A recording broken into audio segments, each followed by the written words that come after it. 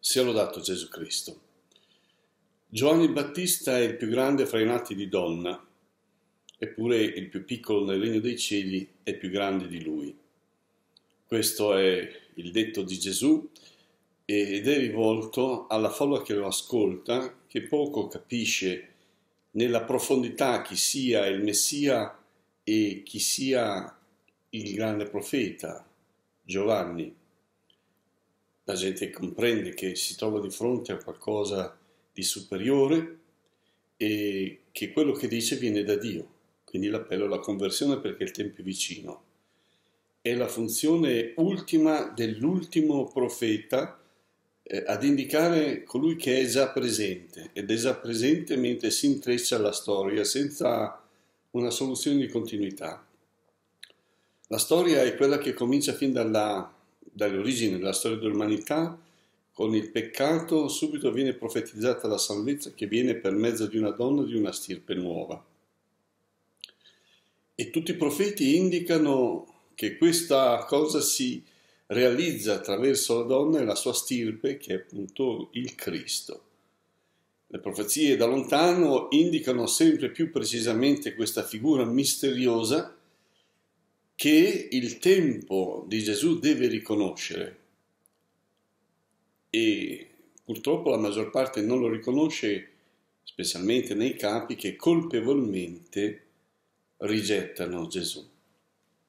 Dunque gli indicatori sono numerosissimi, partono da lontano, sono raccolti nella storia sacra, ma riguardano anche altre nazioni, Abbiamo l'esempio dei magi venuti da lontano che testimoniano che Dio li ha toccati e li ha guidati a colui che salva il mondo, non solamente Israele.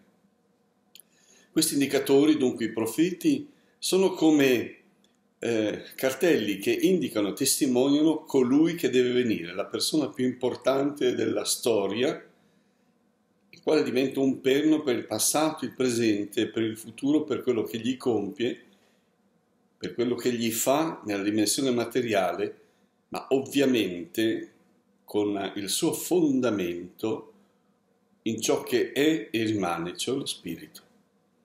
La volontà, l'intenzione di Gesù, la sua missione per il Padre fonda la sua eternità e il suo effetto che si rasa in tutte le dimensioni del tempo perché è essenzialmente un'operazione spirituale.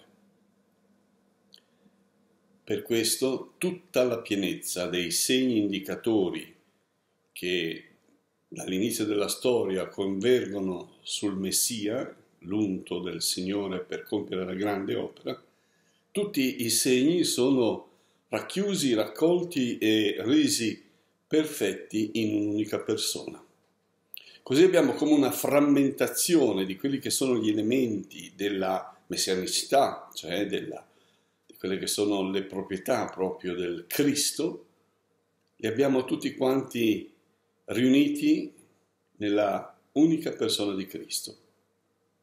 Ecco il grande profeta Elia, unico a dichiarare la grandezza di Dio del popolo di Israele quando questo tutto aveva deviato, Elia compiva anche miracoli, ma man mano che il nuovo Elia, l'Elia che doveva venire, cioè Giovanni Battista, diventa più prossimo all'evento, il grande evento che è il Messia, diventa semplicemente voce, mentre invece quello che è il sacerdozio, la potenza di miracolo, la parola di Dio che è ben più di una parola udita, la parola stessa di Dio che si fa carne, si racchiudono nel Cristo.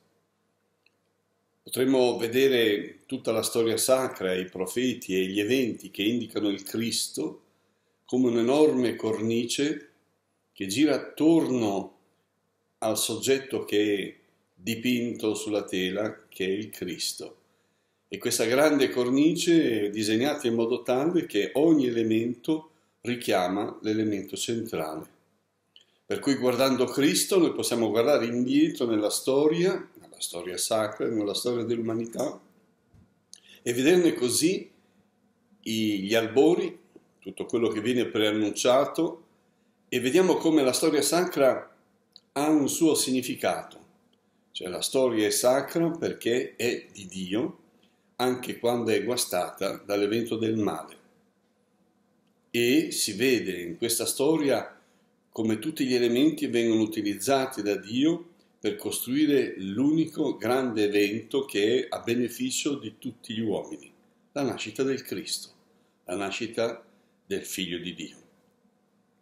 Ecco dunque che Giovanni il Battista, il più grande fra nati da donna, il grande profeta, non compie miracoli, ma è la voce che grida e che poi deve diventare a sua volta piccolo, perché, perché il Cristo deve giganteggiare davanti alla mente e agli occhi di tutti, perché tutto sia concentrato su di lui. Ecco perché il Cristo fa miracoli, Giovanni Battista non ne fa. Ed ecco perché manda i suoi, i suoi discepoli, Giovanni, vedendo i segni, cioè i miracoli che Gesù compiva, a chiedere se fosse lui o si doveva aspettare qualcun altro. Lo chiede, ovviamente, a nome dei discepoli, per i discepoli, perché la sua fede era lucida e sapeva bene chi era il cugino, era il Messia. E la risposta di Gesù è proprio fatta sui segni. Compie vari miracoli davanti a loro, poi ci sono quelli che ha già compiuto, e dice, ecco, io ho compiuto ciò che il profeta Isaia aveva detto di me, gli storpi camminano, i ciechi vedono, i sordi odono, sono guariti, i lebrosi, i morti resuscitano. Andate a dirlo Giovanni. E state nella pace, beato chi non si scandalizza di me, perché questo è il grande rischio.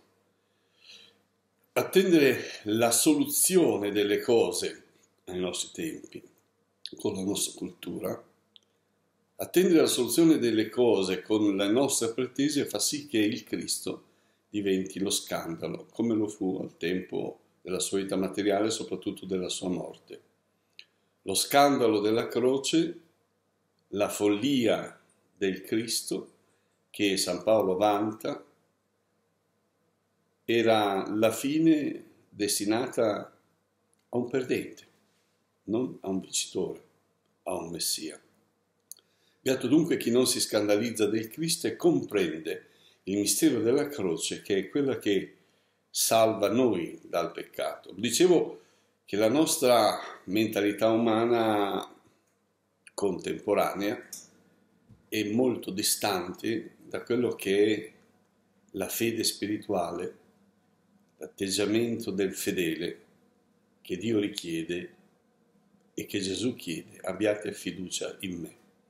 È lontano perché noi vogliamo con una mentalità di persone che sono soggetti di diritti, avere la nostra giustizia subito, ora, immediata. Noi non bussiamo alla porta del Signore per convertirci, così come l'appello di Giovanni ed anche di Gesù. Convertitevi, credete al Vangelo, il regno è vicino. Noi andiamo carichi di diritti di quello che per noi la vita umana terrena ha bisogno e che qualcuno ci deve dare e quel qualcuno è Dio. Dio ha dei doveri nei nostri confronti. Non si può dunque parlare di conversione, ma di richiesta con proteste della giustizia di Dio che deve essere fatta subito secondo le nostre esigenze personali che non tengono conto degli altri in genere, e secondo una giustizia che è immediata, retributiva, senza pensare che noi abbiamo più che dei diritti, dei doveri nei confronti di Dio. Il dovere di tornare a Lui, di bussare alla sua porta, di chiedere perdono, di essere riammessi alla sua corte e di essere immessi in questo suo grande progetto di costruzione di figli di Dio. Noi siamo dunque destinati ad essere elevati alla statura di Cristo, che è il più grande nel regno dei cieli, perché siamo associati a Lui. Chi di noi dunque può parlare serenamente di peccato e di colpe verso Dio? Non siamo forse più propensi a invocare il diritto e l'uguaglianza di tutti a un Dio che non se lo garantisce. Il bene della vita terrena, la riuscita dei nostri progetti a un Dio che deve farci questo. La parola conversione, dunque da qui la misericordia di Dio che concede il perdono, non c'è. Non siamo nella mentalità del peccato, del peccatore, della richiesta della grazia.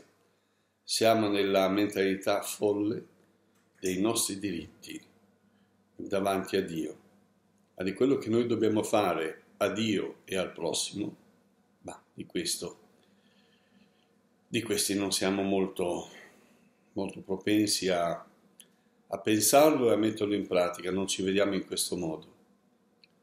Cerchiamo di stare bene L'importante è stare in pace con se stessi, avere una buona armonia con sé, dunque gli altri che girano attorno possono in qualche modo o adeguarsi a noi o essere allontanati, perché il nostro benessere psicofisico è il centro di tutto.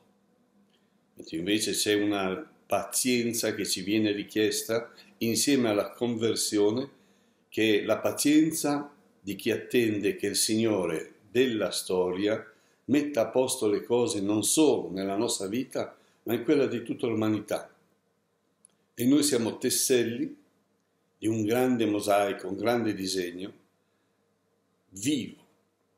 E ognuno deve stare nel suo posto per far sì che tutto il disegno abbia senso e possa incentrarsi, ricapitolarsi in Cristo centro della storia, Cristo sempre, ieri e oggi e domani.